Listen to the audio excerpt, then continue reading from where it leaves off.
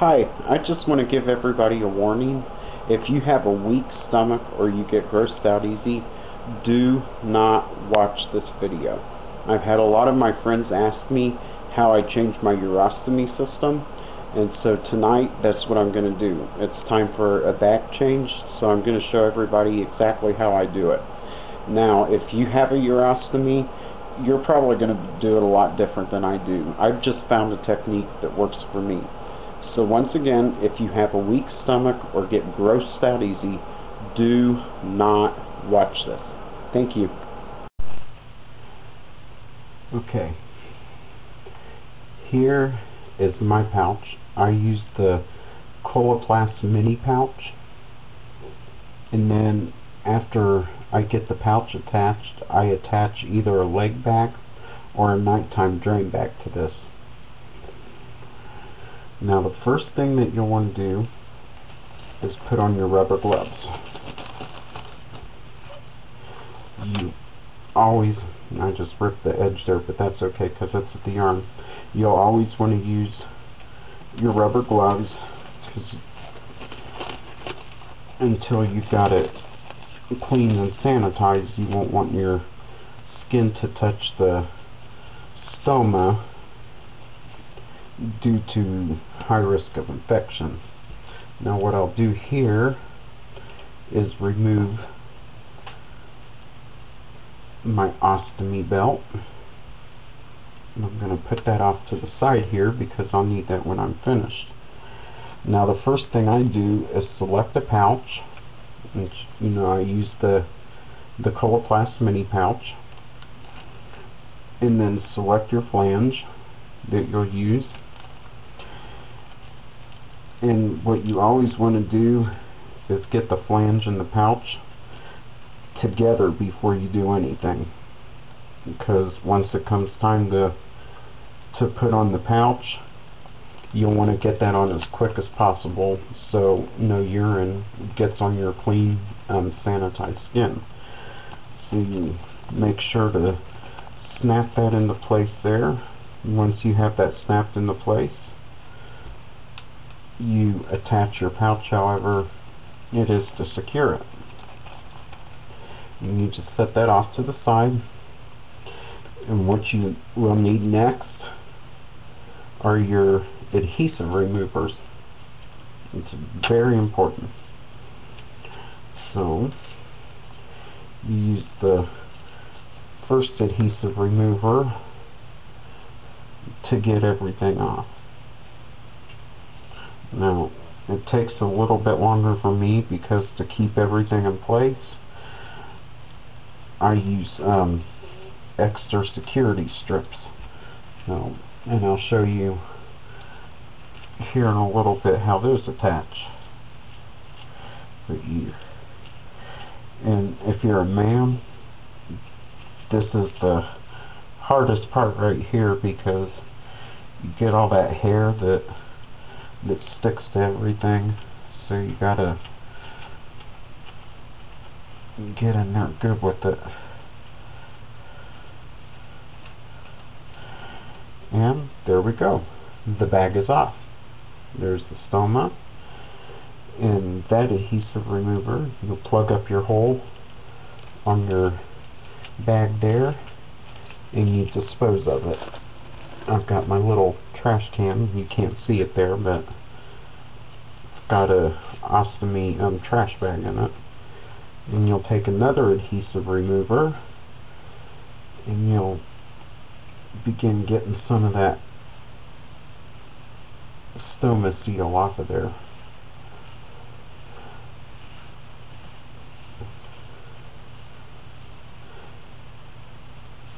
Be careful not to hit your stoma because if you do it starts bleeding. It doesn't hurt. It just bleeds and causes a little bit of mess. And oh I'm shooting out shooting out urine here. Now with my urostomy there is no control over the urine coming out because when I had my urostomy done, I also had a radical cystectomy. I have no bladder to hold urine, so my my stoma is hooked directly up to my kidneys. So when urine's ready to come out, it just comes flying out. There's nothing to hold it in. There's storage for urine. Okay, I'm going to need, usually I can get by with two, but I'm going to need two adhesive remover things here. Well, actually, I'm on my third.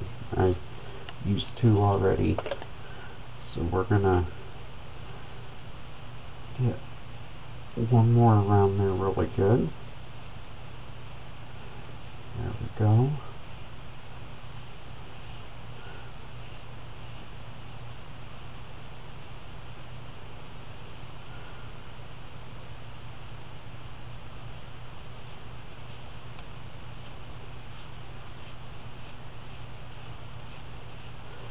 Now my skin here sticks out a little more. You can see the bump there. I have a peristomal hernia. So I wear a hernia belt also. That's why I use the leg bag and nighttime drain bag with the mini pouch. It's much easier to much easier to keep the hernia belt on when everything hangs down instead of trying to tuck everything up into the side. So now the water is going to come on. Gotta let it heat up a little bit here.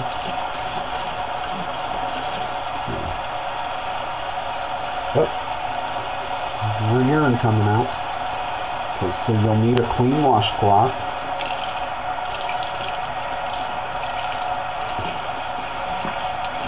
And what you'll want to do is get around there.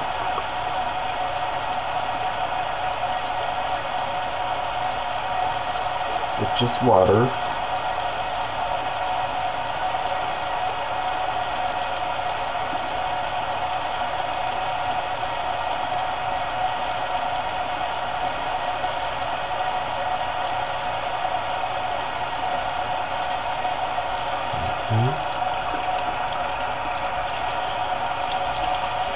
Now I use skin prep wipes for a while and what I found works better than the skin prep wipes is Aloe Vesta cleaning foam.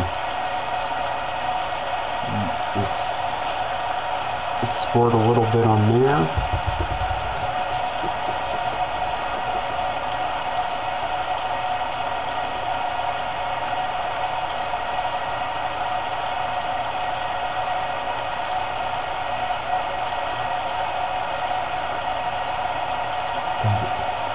all around.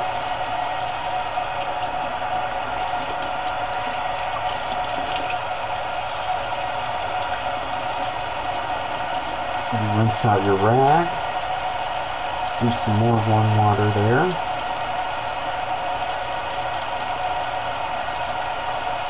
Okay. Now, You'll need a clean towel. I like to use my microfiber towels. Dry off your glove. Now, what I'm going to do, I do not, I do not use stoma paste. Here is what I use. It's a, it's a um, seal, a ring seal. So I open that, I dispose of that packaging, and to bring this sticky out you gotta hold it between your hands for a little bit, let the warmth of your hands get in there. Dun dun dun dun dun dun dun. Dun dun dun dun. Boop boop boop boop boop boop dun dun dun dun dun dun dun. Bum bum bum bum bum bum okay that should be enough. Now what you want to do is take the backing of your um, flange and peel that off try to avoid touching the sticky as much as you can for the time being. And then set that back aside. And you take your your seal ring here. Take both sides of that off. Now you'll want to stretch this out a little bit. Now you grab your pouch and flange again. Lay that lay that seal ring on there and you just push. See that's why you gotta avoid touching it. Push to the edge of your of your hole in there. I've got a one inch hole. I've got a one inch stoma and so that that ring is on there now and with that I don't need any paste. So what I'm going to do now take a little more warm water on my rag my clean rag. Oops see some more urine's coming out. This is why you want to keep cleaning it because that urine's got acid in it and it won't hold the seal if you don't keep that clean. So take take your rag, clean where urine came out.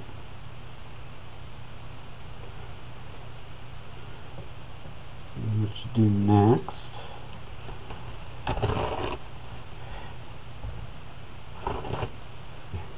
get a paper towel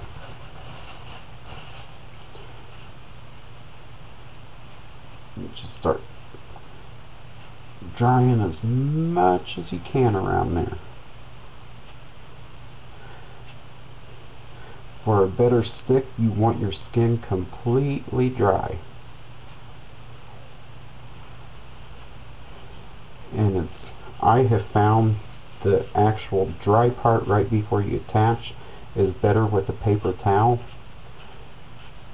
because fuzzies from the towel will stick to the skin because see you still have stick to your skin and stuff won't stick as well with the towel fuzzies on there that, nope, not to do it. Okay.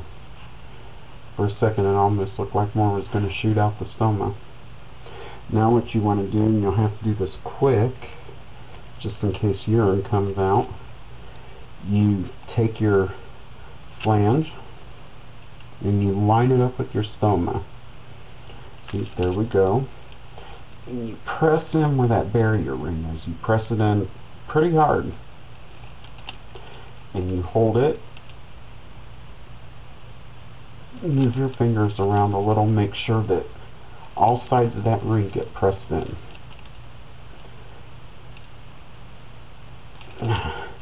You see now that the now that the stem is covered up I can take the gloves off and dispose of them.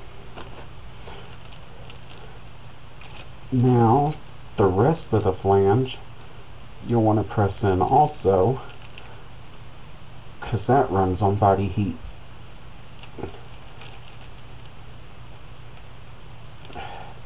There we go. Then I usually do this number. Hold it in for a little bit. There we go.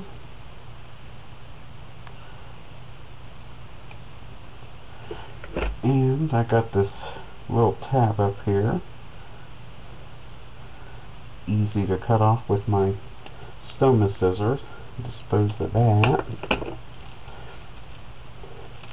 Now what I use to prevent against any leaks that might break through the seal but none have yet but I I still use these to be on the safe side. I use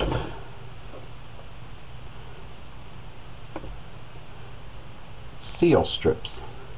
Now, oh, see, I got that on just in time. I've already got urine coming out.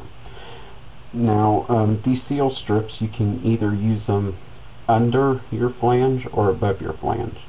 Now, with my skin type, I found that the flange wasn't sticking good.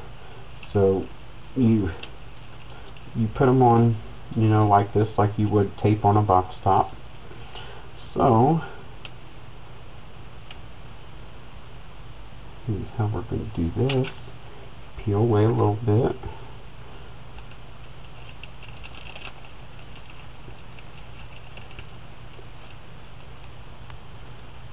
Let's see. I hate doing the bottom one after urines already come out. Makes it hard to lift. So you get that on there. And then you press it down and once again your your body heat and your hands will activate it.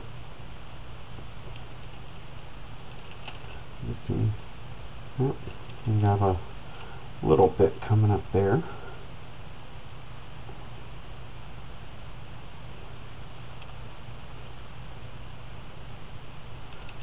Mm-hmm. Okay, that's looking pretty good. Now you got picture frame these, so take another one.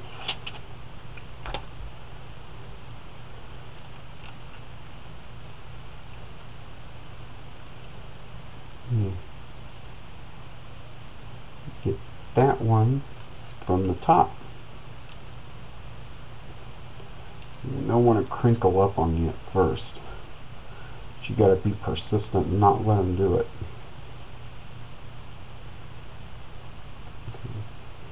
hold that down your body heat activate it.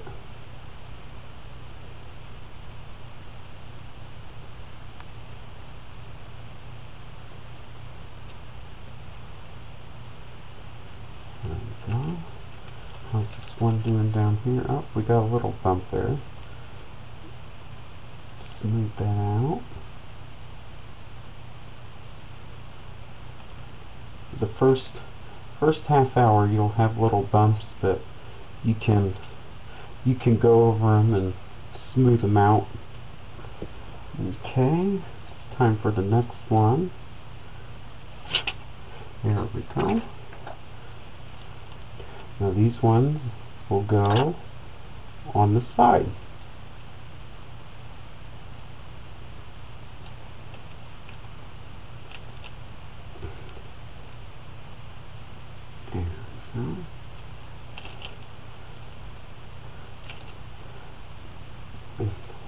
Found my side ones stick better.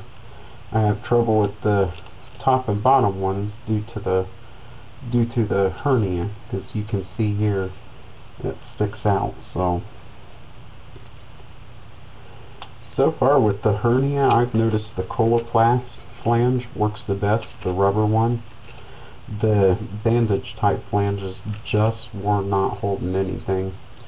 I would put them on and within an hour they would bust open so and I can if I let it go long enough I, I don't usually I keep it changed twice a week but um, just to see how long I could wear the Coloplast one I, I wore it until it popped the first leak and it took one week and two days for it to even have its first leak. So if I wanted to I could or if I had to because of finances I could stretch I could stretch the um, Coloplast flange and pouch out for one whole week. So, there we go. There's that.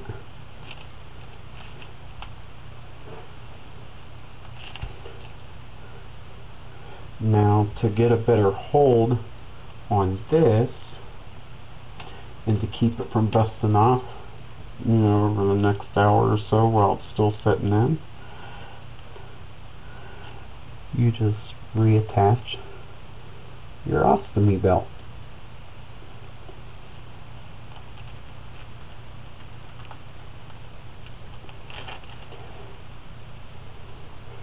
Now, those of you who are going through a stomal hernia,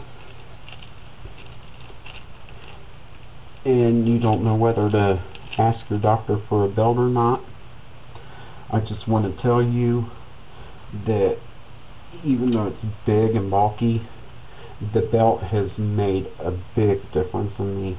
So I'm going to show you how to put on a urostomy hernia belt. Because I'm going to have to put it on anyway.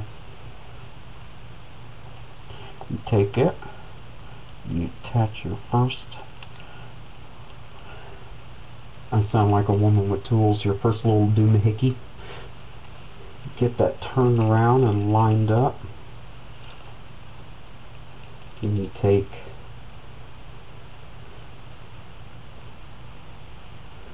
gotta get all this stuff situated here. Well, I can take this out now because I've got my got my bag on. So you take your pad and you put that down in your dirty laundry. You take your second doohickey here, get that lined up.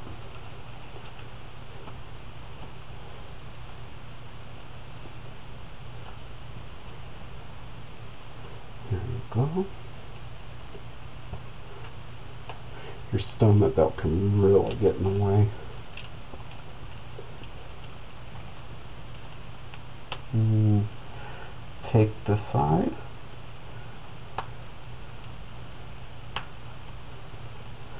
You just start snapping them together.